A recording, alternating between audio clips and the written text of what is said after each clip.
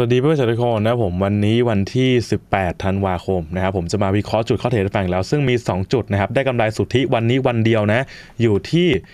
649 เหรียญนะครับไม่มีค่าคอมมิชชั่นเนาะเพราะผมเทรดผ่านโบรกเกอร์ XM นะครับบัญชี Ultra Low ไม่มีค่าคอมมิชชั่นคอมมิชชั่นศูนย์นะครับแสดงว่าได้กำไรเต็มๆอยู่ที่ 649 ดอลลาร์ถ้าแปลงเป็นเงินไทยครับ ก็อยู่ที่ 22,000 บาท นี่คือค่าเงินณปัจจุบันวันที่ 18 ธันวาคมนะครับช่วงหลังมาเนี้ยนะครับถ้าใครที่ดูคลิปผมบ่อยเนาะก็จะเห็นว่าช่วงหลังมาผมมีการอัพคลิปแบบนี้บ่อยนะครับโชว์ในเรื่องของกำไรคือเมื่อก่อนเนี่ยผมไม่ค่อยโชว์อย่างนี้หรอกนะครับเพราะว่าส่วนใหญ่จะเป็นคลิปในเรื่องของการสอนมากกว่าแต่ว่าช่วงหลังๆมาเนี่ยผมรู้สึกว่าอยากทำคลิปแบบนี้บ้างนะครับหนึ่งเป็นการโชว์กำไรว่าผมเทรดได้จริงสองนะครับเป็นการโชว์ให้ดูสำหรับนักเรียนที่เข้ามาดูหรือสมาชิกใหม่ๆที่เข้ามาดูจะได้เข้าใจว่าเฮ้ยกระบวนคิดเนี่ยเรียนไปแล้วเรียนจบไปแล้วเนี่ยมันต้องเทรดยังไงบ้างเพราะในตลาดจริงเนี่ยบางทีมันก็ไม่ได้เหมือนกับสิ่งที่สอนถูกไหมสิ่งที่สอนบางทีมันง่าย ตลาดจริงมันยากก็จะมีแอดวงแอดวานบ้าง มาสอนให้ในคลิปพวกนี้ก็ลองเข้ามาดูได้คลิปพวกนี้นะครับคือคลิปที่ผมเข้าถึงจริงใช้บัญชีจริงทุกอย่างนะครับเนาะสามารถมาดูได้พวกนี้เลยไล่ไปเลยนะเดือนที่แล้วเลยนะครับ ตั้งแต่ 10,000 บาท 5 นาทีนะครับจุดเดียว 50,000 20,000 1,000 เหรียญนะครับอะไรก็ว่าไปพวกนี้ลองไปย้อนดูได้ ทุกคลิปบอกได้เลยว่ามีประโยชน์แน่นอนนะครับเพราะว่าจะได้เห็นไอเดียการเทรดผมว่าผมเทรดยังไง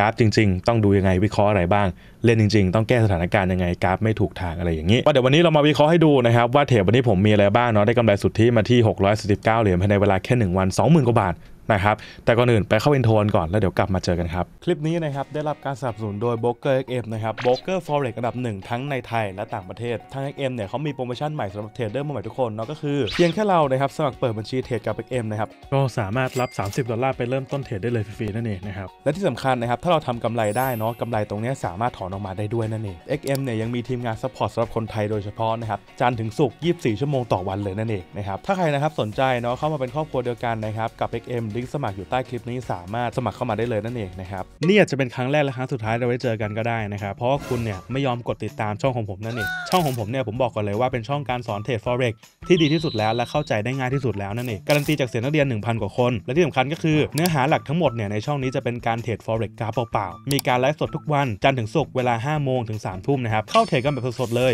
วิเคราะห์กันแบบเรียลไทม์ไปแบบ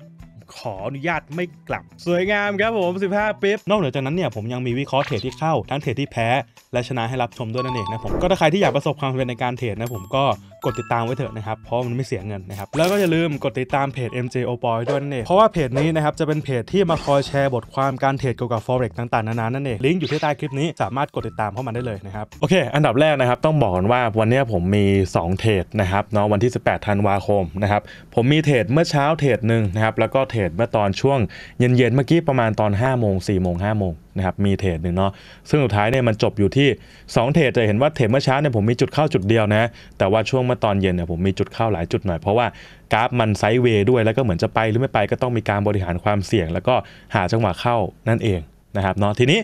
เรามาเริ่มเทรดแรกกันก่อนดีกว่าเดี๋ยวเทรดที่น่าสนใจเนี่ยคือเทรดที่2นะเพราะนั้นผมแนะนำว่าฟังคลิปให้จบดีกว่าเนาะจะเห็นว่ามีจุดเข้าหลายจุด เพราะว่ากระบวนการคิดเนี่ยมันเปลี่ยนตลอดตอนที่กราฟมันวิ่งณปัจจุบันแบบเรียลไทม์นะครับนั่นคือความไวของ forex เนาะอะทีนี้ เรามาดูเทรดแรกก่อนเลยนะครับ เทรดแรกเนี่ยค่อนข้างที่จะเรียบง่ายนิดนึงนะครับ ไม่ได้มีซับซ้อนเลยนะขออนุญาตปิดโซนพวกนี้ก่อนเลยนะครับอะก็ถ้าเราปิดอย่างนี้นะครับ จะเห็นว่าจุดที่ผมเข้าเทรดนะ ใครดูก็รู้เลยนะครับ ว่ามันเข้าเพราะอะไรขออนุญาตปิดเส้นนี้นิดนึงจะได้ไม่เกะกะนะครับโชว์ bit x โอเคจุดนี้นะครับ ถ้าใครที่เทรดกราฟเปล่าเนี่ยเราจะรู้ว่า สิ่งที่ผมเล่นน่ะมันคือเล่นในเรื่องของการเล่น wick fill แล้วก็การเล่น break out นะครับ wick fill คืออะไรคือคอนเซปต์ง่ายๆนะไปดูในช่องผมได้ แต่ว่าถ้าเกิดขี้เกียจไปดูฟังสั้นๆได้ใจความครับ สมมตินะ เวลาราคามันวิ่งลงนะครับอันนี้คือแท่งลงนะ เวลามันวิ่งลงครับมันจะมีไส้ข้างล่างถูกไหมแท่งต่อไปมันจะลงต่อมันจะทำสูตรนี้ครับก็จะเห็นว่าเจ้าแท่งเนี้ยตรงเนื้อเทียนเขาอะนะมีการไปเติมเต็มไส้แท่งก่อนหน้าตรงจุดนี้นี่คือคอนเซปต์ wick fill ทิ้งไว้เหมือนเดิมครับแบบนี้แท่งต่อไปลงต่อก็จะเป็นทรงแบบนี้นะครับคือ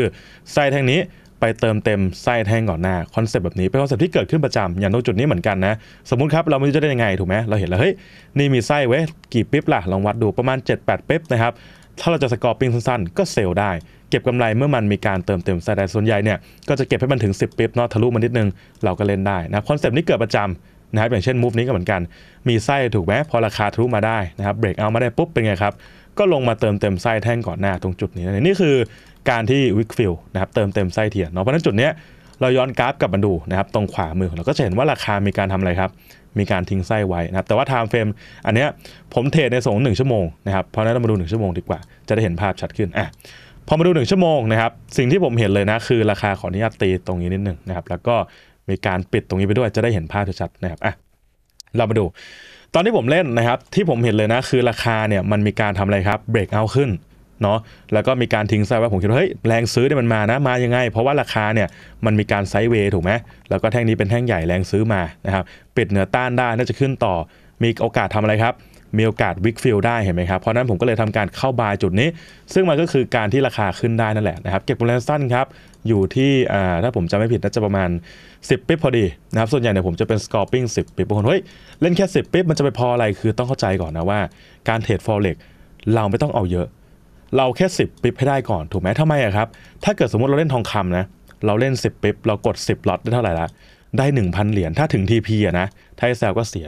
เรากด 50ล็อตเท่าไหร่ได้ 5,000 เหรียญถูกป่ะนั่นคือแค่ 10ปิ๊บเพราะฉะนั้นผมถามว่าเราเล่นแค่เนี้ยใช้เวลาแบบแค่ครึ่งชั่วโมงได้กำไร5,000เหรียญน่ะโอเคไหมโอเค ขออนุญาตแทรกขายของนิดนึงนะครับ คือตอนนี้ผมมีคอร์สเรียน private forex อยู่นะครับ อยู่ที่ราคา 49,999 บาทนะครับ เป็นการเรียนสดกับผมนะครับ 12 ครั้งใน 3 เดือนนะครับ แบ่งเป็น 4 ครั้งต่อเดือน 1 ครั้งต่อสัปดาห์จนครบ 12 ครั้งนะครับ ดูแลจนเทรดเป็นเลยนะครับ และได้รับสิทธิ์เข้าเรียนคอร์สเรียนเก่าๆที่ผมทำการสอนนักเรียนเก่าๆไว้ร่วมกว่า 200 ชั่วโมงนะครับ ถ้าสนใจสมัครเรียนติดต่อมาได้เลยนะครับที่ line ID @mjvo นะครับผมแล้วทักมาว่า 49999 นะครับ รบกวนมีแอดด้วยนะครับเนาะ อย่าลืมใส่แอดข้างหน้าด้วยนะครับ ทิ้งท้ายไว้ที่หนึ่งนะครับคอร์สนี้ผมไม่รับคนนะรับเฉพาะคนที่มุ่งมั่นในการเทรดจริงๆ ถ้าเราจะสมัครเรียนนะครับ ติดต่อตามนี้เลยนะครับนะครับถามว่ามีเหรอกด 50ล็อตมีครับแต่ว่าปัจจุบันเนี่ยผมยังไม่ถึงเลเวลนั้น ส่วนใหญ่ผมอยู่ประมาณ 10ล็อตก่อนนะครับเราค่อยๆไต่สเกลไป แต่ว่าอนาคตมีแน่นะครับอันนี้คือพูดให้ฟังเฉยๆเนาะเผื่อบางคนไม่เห็นไอเดียนะอะถ้าดู 30นาทีมันจะงงๆนิดนึง แต่ว่ามันก็คือการที่ราคาเนี่ยเบรกเอาขึ้นอยู่ดีเห็นไหมผมคิดว่ามันน่าจะไปแล้ว แล้วก็แรงซื้อมันมาจากทางเฟรมหนึ่งชั่วโมงนะครับ ก็เลย เข้าบายไปจุดนี้ได้กำไรสั้นๆนะครับเทรดนี้ก็ส่งไปในกลุ่มด้วย แต่ว่าส่งแค่ผลลัพธ์ไม่ได้ส่งตอนกราฟวิ่งนะครับอะทีนี้เทรดแรกไม่ค่อยน่าสนใจเท่าไหร่นะครับแต่ก็เล่นได้เหมือนกันเทรดนี้เนาะเทรดที่น่าสนใจครับคือเทรดที่สองเทรดนี้นะครับนี่ครับจุดนี้จุดที่ผม sell ลงมา เทรดนี้คือเทรดที่หนึ่งนะครับเทรดนี้คือเทรดสองคือเทรดเนี้ยมันไอเดียเดียวกันนะต้องแยกแยะก่อนว่าไอเดียเทรดเนี่ยมันไอเดียเดียวไอเดียเดียวนะครับแต่ว่าจุดเข้าเทรดมันมีทั้งหมด 4 จุดเลย เนาะซึ่งเรามาดูจุดแรกเลย อันนี้คือลูกศร sell นะครับ1 2 3 4ราคาไปไล่เอานะ ผมขี้เกียจนั่งดูว่าออเดอร์ไหนเป็นออเดอร์ไหน แต่ว่า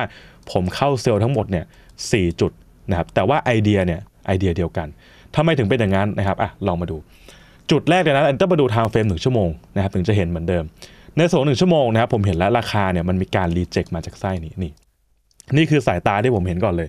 ราคามีการรีเจ็คลงมา นะครับทีนี้ถามเฮ้ยรีเจ็คลงมามันหมายความอะไร ก็หมายความว่าราคาเนี่ยไม่ต้องการจะขึ้นนะครับราคามีแค่ขึ้นกับลงถูกไหมถ้ามันวิ่งขึ้นไปถึงจุดหนึ่งแล้วมันถูกตบกลับลงแรงๆแสดงว่าจากจุดเนี้ยราคาไม่ลง ถ้าเกิดมันมีการวิ่งขึ้นมาอีกรอบนึง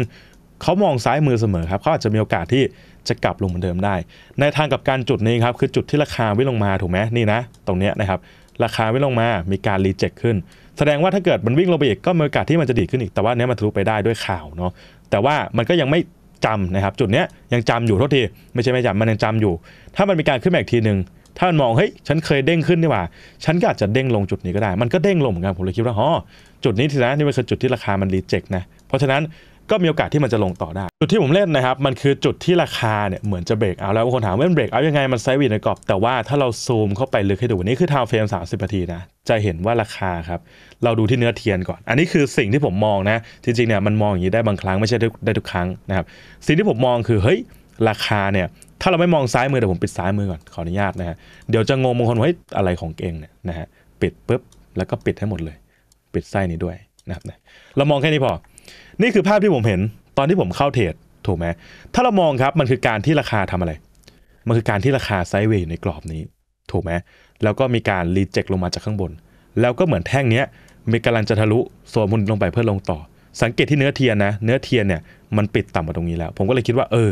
มันน่าจะลงต่อได้ แต่ผมไม่เล่นตอนที่มันปิดนะ ผมเล่นจังหวะที่มันกำลังวิ่งอยู่แต่ผมคิดว่าเดี๋ยวมันต้องปิด เพราะถ้าเกิดว่าผมเข้าแล้วเนี่ยแล้วแท่งนี้นะครับปิด เหนือโซนนี้ผมก็จะบริหารความเสี่ยงไป แต่พอมันปิดต่ำกว่าได้ ผมก็จะถือต่อ นั่นคือมาเซตที่ผมเล่นทำไมถามว่าทำไมเข้าเซลล์ไวจังคืออย่างนี้ครับ จังหวะนั้นน่ะผมเห็นราคามันรีเจ็คมาถูกไหมแล้วแรงขายมันส่งมาเยอะ มันเป็นแท่งใหญ่ผมก็เลยคิดว่าอ๋อเออเนี่ยแหละราคาน่าจะวิ่งลงต่อได้แล้วจากจุดนี้ผมก็กลัวครับกลัวตกรถถูกไหมเพราะว่าไม่รู้มันจะลงหรือเปล่าก็เลยเข้าเซลล์ไปเลยนะครับเซลล์ปุ๊บแล้วผมก็มีความคิดว่า อืมตรงนี้ยสำคัญเลยนะ ตรงเนื้อเทียนตรงเนี้ยถ้ามันปิดเหนือเนื้อเทียนตรงนี้แสดงมันต้องการจะขึ้นต่อถูกไหมเพราะว่าราคามันรีเจ็คลงมาแล้วอะแต่มันยังไม่สามารถที่จะทะลุเนื้อเทียนพวกนี้ไปได้มันผมบอกว่าเฮ้ยมันไม่ลงละแต่ตอนนี้มันปิดต่ำกว่าได้ท้ายสุดมันเกิดอะไรขึ้นครับ มันเลยวิ่งลงแบบที่มันเป็นอยู่ตรงนี้นะครับนั่นคือ logic ของมันหลักการเหตุผลของมันเนาะทีนี้ผมก็เลยเข้า sell นะฮะแต่ด้วยความที่ว่าถ้าเราไปดู time frame 15 นาทีนะแท่งเนี้ยมันมีการ retest ขึ้นมาสูงเกินนะครับแล้วผมก็มองว่าอืม จำเส้นเหลืองเมื่อกี้ได้ไหมนี่ผมปิดตรงนี้ก่อนนะเส้นเหลืองตรงนี้คือจุดตรงนี้ถ้าดู 30นาทีมันคือโซนนี้ถูกไหมอะเดี๋ยวผมตีเส้นก่อนปุ๊บเปลี่ยนเป็นเส้นเหลืองอย่างนี้นะครับปุ๊บเราดูจุดนั้นนี่คือสำคัญมากแนวรับนี้ที่เป็นเนื้อเทียน พอดู15นาที สิ่งที่ผมเห็นคืออะไรรู้ไหมคืออันนี้เทรดแรกที่ผมเข้าก่อนนะครับสิ่งที่ผมเห็นคือแท่งเนี้ยมันปิดเข้าไปเหนือโซนสีเหลือง เราไม่ดูตรงนี้เลยนะ เราดูแค่กรอบนี้ก่อนนะครับเดี๋ยวผมปิดดีกว่าบางคนจะเห็นภาพคิดตามแล้วงงนะครับมือใหม่จะงงได้นี่ เราดูแค่นี้พอ เราดูแค่นี้ครับ ราคาเป็นไงครับไซด์เวย์ในกรอบเฮ้ยเฟกเอาลงมา แท่งนี้ก็เหมือนจะกลับเข้าไปในโซนอีกถูกไหมเพราะถ้ามันจะลงต่อมันต้องปิดต่ำกว่าสิ่งที่ผมก็เลย มีการบริหารความเสี่ยงปิดเทรดทั้งหมดตรงนี้เมื่อราคามันได้กัน เพราะว่าผมไปเปิด sell ข้างบนเพิ่มอีกอันหนึ่งพอมันอยู่ตรงนี้ปุ๊บก็โอเคปิดกำไรเล็กน้อยขาดทุนนิดนึงนะครับได้กำไรมา 6 เหรียญประมาณนี้ข้างล่างหักลบกับข้างบน 2 เทรดเทรดนี้ก็จบไปนะครับด้วยความที่ว่าแท่งนี้มันหลอกผม เพราะมันไม่ปิดต่ำกว่าแนวรับนี้ นะครับทีนี้ผมเห็นราคามันกระชากลงมานะครับดู time frame หนึ่งนาทีจะเห็นภาพว่ามันกระชากลงมานี่ ราคามันกระชากลงมาถูกไหมผมก็เลยคิดว่าเฮ้ยมันน่าจะลงต่อได้สิผมก็เลยเปิด sell ไปอันหนึ่งนะโทษทีไม่ใช่เทรดนี้เทรดนี้เทรดนี้นะครับโทษทีเออจำผิด มันกระชากลงมาเห็นไหมมันกระชากลงมานะครับปุ๊บสิ่งที่ผมทำคืออะไรผม sell เพราะผมคิดว่าเฮ้ยน่าจะมาละ volume จะมาผมเลยกด sell ไปเลยนะครับเทรดที่หนึ่งเทรดที่สองนะครับแล้วก็เทรดที่สาม มีทั้งหมด 3 ออเดอร์นะครับ ซึ่งมาดูหนึ่งชั่วโมงครับ เทรดแรกเทรดที่หนึ่งเนี่ยจะเห็นว่าผมปิดขาดทุนไปว่าผมรู้สึกว่า อืม ผมน่าจะเข้าจุดไม่ดีเท่าไหร่นะครับ พอมาดูอีกจุดหนึ่งนะครับ ที่ผมเข้าจุดนี้ นี่คือจุดที่ผมยังถืออยู่เพราะผมคิดว่า อืม อย่างน้อยนะ ถ้าเกิดมันจะลงต่อก็คงลงได้แหละ ถ้าเสียก็ไม่เป็นไร หักลบกลับที่ได้ไปเมื่อเช้า แต่เทรดเนี้ยผมปิดไปก่อนนะครับเพราะผมรู้สึกว่าผมเข้าเยอะไป รวมๆกันนี่คือ3ล็อต นะผมก็ว่าผมเข้าเยอะไป ก็เลยยังไม่ได้สนใจอะไรมาก ก็เลยปิดไปก่อนนะพอราคาลงอีกปุ๊บทะลุโซนพวกนี้ได้นะ อันนี้สำคัญสุดผมเล่นเซลล์ไป3ล็อตนะครับอันนี้สำคัญสุด พอราคามันปิดต่ำกว่า ไม่ใช่ปิดต่ำกว่าสิทะลุไส้นี้ได้นะ ผมก็เลยเข้าเซลล์อีกรอบหนึ่งนะครับซึ่งสุดที่นะกำไรมันหักลบกันแล้วนะครับลงมาอีกประมาณ 8-9ปิ๊บเนาะผมเล่นแค่นั้นพอนะครับจริงๆ อยากถือ 10ปิ๊บแต่ว่านั่นแหละครับรู้อะไรไม่เท่าลุงนี้นะครับเล่นแค่นี้พอเพราะว่า ตอนนี้อารมณ์มันมาแล้วถูกไหมเราเล่นเทรดแรกเฮ้ยราคาเนี่ยผมตั้งทีวีไว้จุดนี้นะมันถึงได้นะครับผมก็เลยคิดว่า อืมไม่รู้ละจุดนี้จะขึ้นหรือลงต่อไม่สนใจแหละแต่ว่าเอากำไรเข้ากระเป๋าดีกว่า ดีกว่าเสียนะครับก็เลยปิดไปหมดเลย เพราะนั้นเทรดแรกเทรดเนี่ยน่าเสียดาย ถ้าผมถือต่อนะ ก็คือถึง TP ได้กำไรพันเหรียญนะครับนี่คือเทรดแรก เทรดสอันนี้ก็น่าเสียดายเหมือนกันแต่ก็นั่นแหละครับ ด้วยความที่มันน่ากลัวนิดหนึ่งเนาะทะลุตรงนี้ไม่ได้ แต่มันมีการกลับตัวขึ้นก็เลยปิดไปเด็กน้อยนะครับ อันนี้ก็น่ากลัวเหมือนกันแต่ว่าผมตัดตัดสินใจจะถือต่อเพราะอะไรจะเกิดก็เกิดถูกแม้เสียก็เสียชนะก็ชนะแพ้ก็แพ้นะครับอีกอันนึงสุดท้ายอันนี้ครับอันนี้ก็ตามเทคนิคไม่ได้มีอะไรยากมาก ทะลุโซนพวกนี้ได้ทะลุไส้ทางนี้พวกนี้ได้ก็มีโอกาสลงมาถึงแนวรับนะครับพอถึงเสร็จปุ๊บก็นั่นแหละครับ ดีดตัวขึ้น ดีดตัวขึ้นไปไหน ถ้าเอาแบบไพเซ็กชันง่ายๆนะน่าจะมีการวิ่งลงต่อ แต่ก็ณตอนนี้พูดยากแล้วนะครับเพราะ ไม่รู้มันจะเล่นยังไงต่อ มันจะขึ้นต่อแล้วลงต่อไหมด้วยความที่มันพยายามจะขึ้นแล้วก็ขึ้นไม่ได้ พยายามจะลงก็มาติดแนวรับเหมือนเดิม ก็ยังไม่ทราบ เพราะฉะนั้นตรงนี้ผมก็รอไปก่อน ยังไม่ได้เล่นอะไรเพิ่ม เดี๋ยวเจอจังหวะก็น่าจะเล่นเพิ่ม แต่วันนี้ก็คงพอแล้วครับ ได้สองหมื่นละมีงานไหนบ้างจ่ายสองหมื่นในหนึ่งวัน คงมีแหละนะครับ แต่ว่าผมยังไม่รู้ ผมรู้แค่อย่างเดียวคือ forex มันเป็นไปได้ ถามว่า 2 0 0 0 0 0ต่อวันจาก forex ได้ไหมได้เหมือนกันนะครับ แต่ก็นั่นแหละฮะ เรายังไม่ถึงเลเวลนั้นเนาะแต่ว่าผมก็ต้องไปถึงสักวันหนึ่งนะครับอะคลิปนี้ประมาณนี้นะครับถ้าเกิดว่าชอบในถึงที่ผมสอนนะครับอยากเทรดแบบนี้เป็นนะอยากรู้จักกราฟเปล่าแบบนี้ ชอบตายการเทรดที่ผมสอนให้นะครับผมมีคอร์สเพิ่มเติมให้สามารถฟังต่อได้เลยครับผม มีหลายโค้ดนะครับทักมาถามผมหลังไม้นะครับว่าโค้ดครับโค้ดครับเมื่อไหร่จะมีคอร์ส p r i v a t บ้างพี่อยากเรียนจะมีไหมจะเปิดไหมจะทำไหมทำไมที่อื่นมีทำไมโค้ดมีครับตอบคือว่าวันนี้ ผมเปิดคอร์ส private ให้แล้วนะครับ ราคาอยู่ที่ 49,990 บาทบางคนเฮ้ยราคานี้ปิดคลิปทิ้งเลย อย่าเพิ่งปิดนะ ฟังก่อนเพราะว่าผมบอกได้เลยว่า ราคานี้กับสิ่งที่ได้รับคุ้มแน่นอนนะครับ ต้องบอกก่อนเลยครับว่าเมื่อก่อนเนี่ยผมไม่คิดจะทำคอร์ส private นะครับเพราะอะไรครับ เพราะว่าการสอนแต่ละครั้งผมเนี่ยผมใส่สุดใส่เต็มแล้วผมใช้พลังงานเยอะมากค่า energy เยอะมาก เพราะฉะนั้นเวลาผมสอนนะว่าจะเป็นคอร์สเล็กสุดคอร์สใหญ่คอร์สกลาง ผมสอนเต็มที่หมดคอร์ส8 9 9บเก้าบาท ผมก็สอนเต็มที่คอร์สราคากลางๆ หลักหมื่น ผมก็สอนเต็มที่เพราะนั้นคอร์ส private นะครับผมสอนเต็มที่แน่นอนมันก็จะเป็นการสอนแบบ1ต่อ1ถูกไหมครับตัวต่อตัวฉะนั้นเนี่ยมันจะเหนื่อยมากนะครับหมายถึงว่าตัวผู้สอนเองนะครับเพราะฉะนั้นผมก็เลยไม่ได้คิดจะทำแต่แรก แต่ตอนนี้นะครับณปัจจุบันผมอยากเปิดสอนมากขึ้นทำในสิ่งที่ไม่เคยทำมากขึ้น อย่างเช่น ผมมีไปสัมมนามานะครับให้กับนักเรียนเนาะก็ได้ลองแล้วก็รู้สึกว่าเฮ้ยชอบมาก ชอบการสอนเพิ่มกว่าเดิมอีกก็เลยคิดว่าเอองั้นมาเปิดคอร์ส private ลองดูนะครับเพราะฉะนั้นเนี่ยคอร์สนี้ผมไม่ได้เปิดตลอดนะครับผมรับแค่ 10 คนเท่านั้นนะครับเกินนี้ไม่ไหว แต่ก็ไม่ใช่ว่า 10 คนนี้ผมจะรับทุกคนที่สมัครมานะครับ ตรงนี้ก่อนเลยต้องบอกว่าเนี่ยเป็นคอร์ส private ครั้งแรกจริงๆนะเพราะฉะนั้นผมขอเรื่องเยอะนิดหนึ่งนะคอร์ส private ตัวนี้นะครับผมจะรับเฉพาะคนที่มีความมุ่งมั่นในการอยากเทรดเท่านั้นไม่รับทุกคนนะครับหมายความว่าอะไรครับ หมายความคุณพี่มีเงิน 4 9 0 0 0กำมาหาผมผมก็จะไม่สอนให้ ผมจะมีการคัดเลือกนักเรียนนะครับเหตุผลที่เป็นเช่นนั้นเพราะอะไรรู้ไหมครับ เพราะว่าการสอนตรงนี้เป็นการสอนแบบตัวต่อตัวเนาะผ่านออนไลน์นะครับไม่ได้ไปนั่งสอนกันนะ เพราะว่าด้วยความที่บางท่านอาจจะอยู่ต่างจังหวัด หรืออยู่จังหวัดไม่ตรงกันนะครับเพราะนั้นเป็นการสอนออนไลน์ง่ายๆเนาะแต่ว่าเราเจอกันคุ้มแน่นอนทุกอย่างคุ้มราคาแน่นอน ลองฟังให้จบก่อนนะครับเป็นการสอนแบบตัวต่อตัวผ่านออนไลน์ฉะนั้นนะครับถ้าผู้เรียนกับผู้สอน มีทัศนคติที่ไม่ตรงกันนะ บอกได้เลยว่ามันจะเป็นความอึดอัดที่มหาศาลมากและเรียนกันไม่รู้เรื่องแน่นอนเพราะฉะนั้นก่อนจะมีการเริ่มเรียนนะครับผมจะมีการนัดคุยเบื้องต้นก่อน 15 นาที เพื่อดูว่าตัวผู้เรียนเนี่ยเหมาะสมที่จะเรียนไหม ได้จะสมัครคอร์สเรียนไหม ต่อให้มีเงินมา ถ้าเราคุยกันแล้ว 15 นาทีแล้ว ผมรู้สึกว่าเฮ้ยไม่ใช่ ไม่ตรงจริตกันเราเข้ากันไม่ได้ ผมก็จะไม่สอนให้ เพราะว่ามันเป็นการสอนแบบตัวต่อตัวบอกได้เลยว่า ถ้าเราไม่ถูกกันตั้งแต่แรก 15 นาทีนี้รู้สึกว่าไม่ใช่ แล้วการสอนที่เหลือมันจะดีไหมคำตอบคือไม่ดีแน่นอนเพราะฉะนั้นถ้ามีเงินอย่างเดียวไม่ได้ผมไม่ได้รับนะครับรายละเอียดนะครับเรามาเริ่มกันที่ข้อ 5 ก่อนเลยนะอันนี้คือสำคัญสุดนะครับถ้าสมัครคอร์สเรียน private ตัวนี้แล้วสิ่งที่ได้คืออะไรครับ คือเข้าคอร์สเรียนที่ผมมีการสอนนักเรียนสดรุ่นก่อนๆไว้นะครับร่วมๆเนี่ยกว่า 10 รุ่นนะนักเรียนกว่า 300 ชีวิตนะครับเนื้อหารวม 200 ชั่วโมงคุณพี่ได้รับสิทธิ์นั้นทั้งหมดเลย เข้าเรียนซ้ำได้เรียนได้เรื่อยๆ เพราะเป็นการอัดบันทึกไว้ให้ดู นะครับเรียนตรงนี้ได้เลย เนื้อหาร่วม 2 ชั่วโมงไว้เลยว่าถ้าเรียนจบ 2 ชั่วโมงนะเทรดเป็นเทรดเก่งแน่นอนนะครับกลับมาที่ข้อที่4นะครับสิทธิ์ในการปรึกษากับโค้ดได้ตลอดระยะเวลา3เดือน คือเราจะเรียนกัน 3 เดือนนะครับผ่านช่องทางไลน์ส่วนตัวซึ่งเดี๋ยวผมมีให้หลังจากที่เราสมัครเรียนกันนะครับเนาะแล้วก็ดูแลจนเทรดเป็นนะครับในเวลา 3 เดือนนะสามารถเข้าเทรดชนะได้เองด้วยตนเองภายในเวลา 3 เดือนคือ บอกได้เลยว่า ถ้ามาอยู่กันกับผมจริงๆ 3 เดือนนะครับยังไงก็ต้องเทรดเป็น ยังไงต้องเอาตัวเองรอดได้แน่นอน นะครับถ้าไม่ได้แสดงว่าคนเรียนไม่ตั้งใจ ผมพูดตรงๆเลยนะ ถ้ามาเรียนกับผม 3 เดือนแล้วยังเทรดไม่ได้ แสดงว่าไม่ได้เป็นที่ผม เพราะผมสอนนักเรียนมาหลายพันคนแล้วนะครับทุกคนบอกเป็นเสียงเดียวกันว่าง่ายเข้าใจ ถ้าเกิดมาเรียนกับผมหนึ่งต่อหนึ่งสามเดือนไม่เข้าใจ ไม่ได้เป็นที่ผม เป็นที่ตัวนักเรียนเอง ไม่ว่าจะเป็นเหตุผลอะไรก็ตาม แต่ว่าถ้าเกิด 3 เดือนยังไม่เข้าใจไม่เป็นไรครับ อย่างน้อยมีไลน์ให้ติดต่อมีกลุ่มพูดคุยไว้ให้ สามารถเข้ามาสอบถามนักเรียนอื่นๆได้ ระยะเวลาเรียนร่วม 3 เดือนนะครับโดยแบ่งเป็น 4 ครั้งต่อเดือนเนาะหครั้งต่อสัปดาห์นะครับจนครบ2คือเราจะเรียนทั้งหมดเนี่ย12ครั้งนะครับเป็นการเรียนสดๆผ่านโปรแกรม Zoom ออนไลน์นั่นเองเนาะทั้งหมดนะครับอยู่ที่ 12 ครั้งนะครับครั้งละ 1 ชั่วโมง รวมเป็น 3 เดือนพอดี